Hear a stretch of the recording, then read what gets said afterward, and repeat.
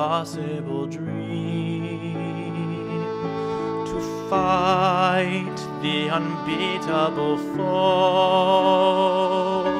to bear with unbearable sorrow, to run where the brave dare not go, to right the unrightable wrong,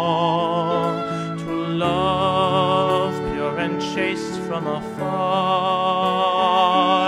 to try when your arms are too weary, to reach the unreachable star. This is my quest to follow that star, no matter how hopeless, no matter how far, fight for the right without question or pause, to be willing to march into hell for a heavenly cause.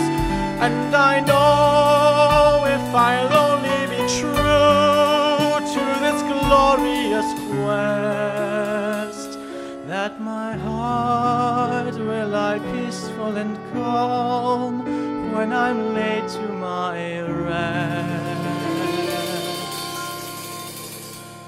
And the world will be better for this.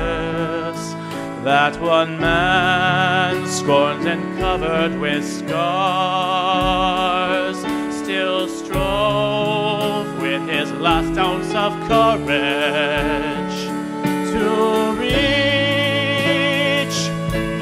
unreachable